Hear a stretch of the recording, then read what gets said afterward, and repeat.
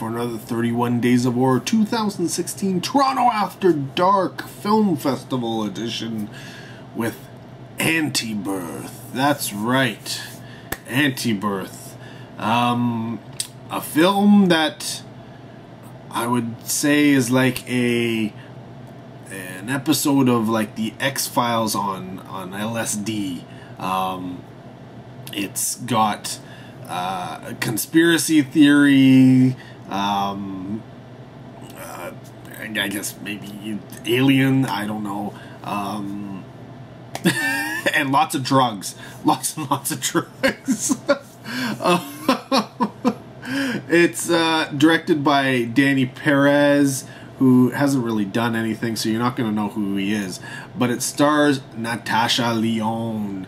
Um, she's the main character, and essentially, um, if you don't know her, she she's from like American the American Pie movies, um, and most recently, um, the star of Orange is a new, is the New Black, um, along with all sorts of other ones, um, and this was actually written for her with her in mind. So it's no I don't. I didn't find it uh, odd to see that she is playing a character who I kind of would associate with her as well. She has this kind of uh, typecasting, I guess, uh, of being um, this type of a uh, of a character, um, and she may be this way in person. I don't know, um, but she is a a young woman who is constantly, constantly um, uh, under the influence of something. Uh, I don't think she's a, a moment sober. Um, she's popping pills. Uh, she's smoking up. She's doing bongs like every time she comes through the door of her trailer or, or you know her mobile trailer home type thing. Um, uh, she's you know immediately smoking up. Um, all the while, like she gets, it starts off with her at a party, um, and you know she she blacks out, and then right off the bat, it's like the next day or next couple days later, and it's like, oh, I'm not feeling so good, and somebody's like, I think you may be pregnant, and you know, this is some kind of accelerated birth uh, or pregnancy where she she is uh, getting much much very very large over a short period of time.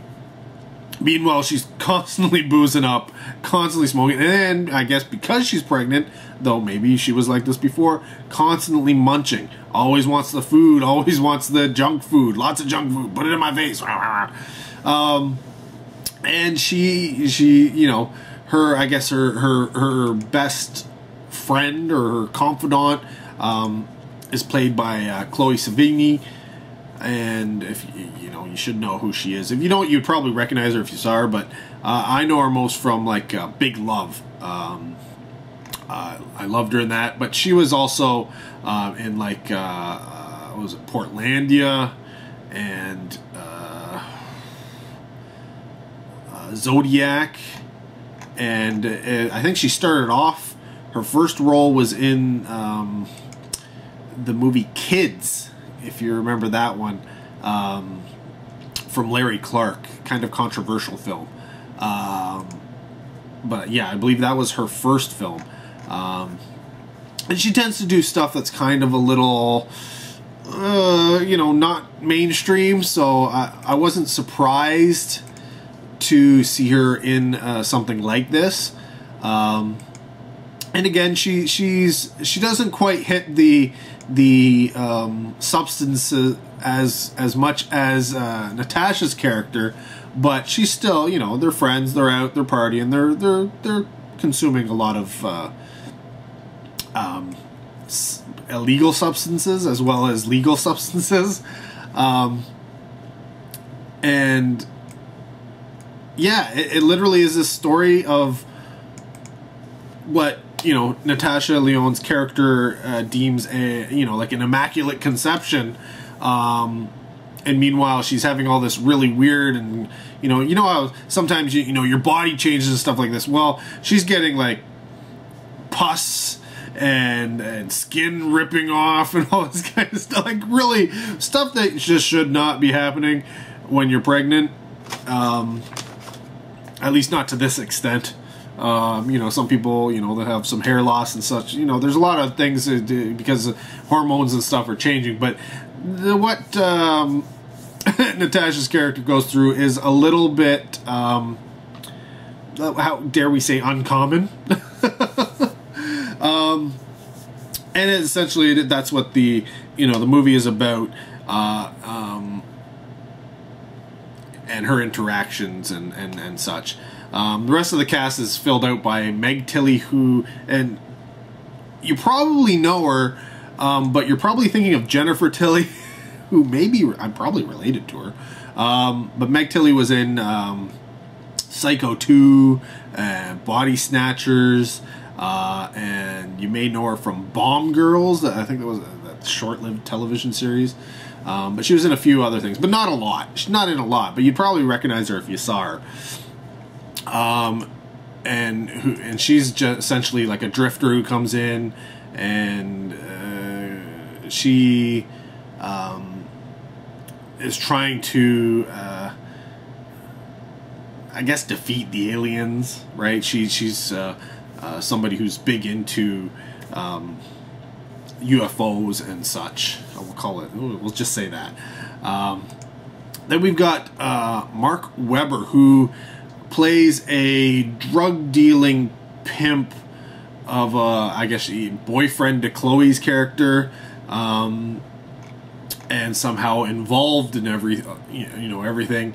And most people are going to know him because recently he was just in Green Room, um, a film I, I really, really liked.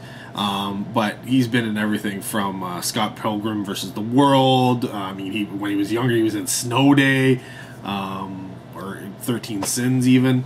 Um, and so you may you may recognize him, you may not. He hasn't done anything, you know, too front and center other than the Green Room. I think that you, that's most recently you may you may kind of look at him go, "Oh, you're kind of familiar," and that would probably be where.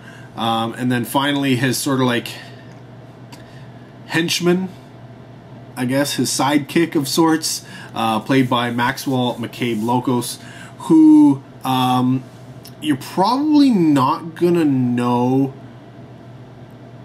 really. I mean, he was in Wolves, if you saw that.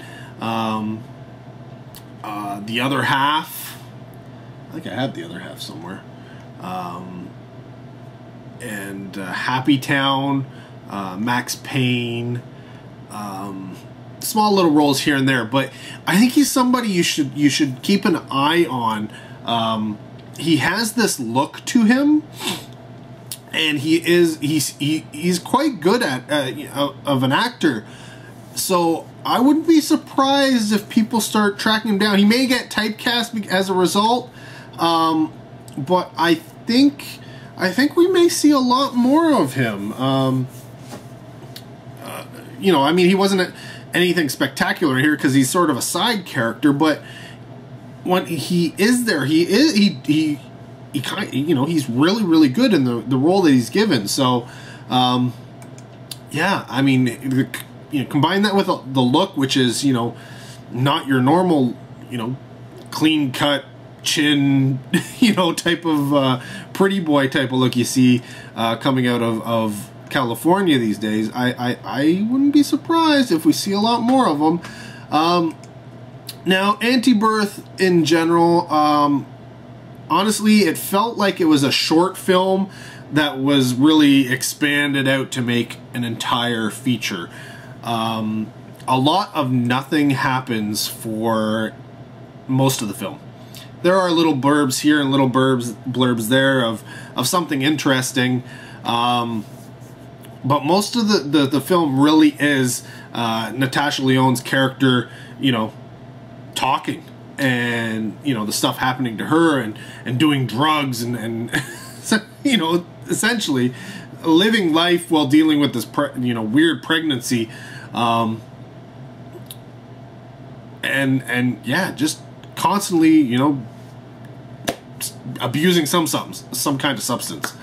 Um, but you stick with it. A because there, like I said, there are moments of of something interesting happening, but mostly because she is, the a the dialogue is really really good, and she is phenomenal at at portraying this particular character. Like I said, it's kind of her thing. It was made for her.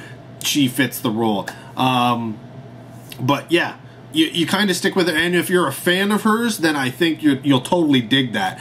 But this is a film where you really have to stick it out until the end because the end is where the payoff is. And it is such a good payoff that I think, um, yeah, I think, I think, uh, you'll be pleasantly surprised. I'll leave it at that. Um, like I said, it's not the greatest uh, of films in general. I really wish it had more and it wasn't so like I loved the ending. Love, love, love the ending. I wish there was more of the ending throughout the film, you know, and it wasn't just at the end. But you know, what are you gonna do, right? Like that's the end reveal. Um, but I mean, there could have been stuff. There really could have been stuff. Not a problem. So, yeah. In regards to Antibirth, would I recommend it? Mm, it's if you like your films to be um, kind of fucked up, uh, a little on the gross side with good heapings of bizarre and and and just being like really kind of messed up. I think that you'll probably really enjoy this. If uh, obviously if you're a fan of Natasha Lyonne, this this you'll you'll love this movie because it is her. It is her like her thing. It really is her thing. Um, regular viewers of, of, of horror movies and such probably will not like this until the end. Um, and I, um, honestly, I I would have no problem saying, you know what, fast forward through a lot of it. Watch here, watch there. I'm sure if somebody just cut it down, they could probably do a, a 10 minute version of this film, or maybe a 15 minute version of this film, and compress it into something and have it be really, really uber entertaining. But yeah, for most people, it's not going to be their thing. Uh, I, you know, like I said, I really wish there was more throughout the film and not just at the end. So I, I was only giving it like a two and a half out of five. Um, it's it's decent. The dialogue is great, but there really isn't much happening throughout most of the film, which kind of sucked. So yeah, and that and honestly, I, I'm not the biggest Natasha Lyonne fan. I think she's fantastic for what she does. Like this role, top notch, but I've never really dug any of her characters. Maybe that's it. I just don't like the character she plays. I don't know. So, yeah. There you go. That is Antibirth from director Danny Perez, starring Natasha Lyonne, Chloe, Chloe Sevigny, and Meg Tilly, I guess. I think Meg Tilly was on the poster, so she's a big name. Um, and Mark Webber and hopefully we'll see more of of Maxwell McCabe Lokos as well. Um, but yeah, there you go. Um, let me know if you've seen it and if you agree with me or not. Um, is it is it worth sticking to the end? I think so. But no spoilers. This is a movie where you you got to keep it to yourself. Anyways, thanks for watching. Till next video, take care. Have a good one.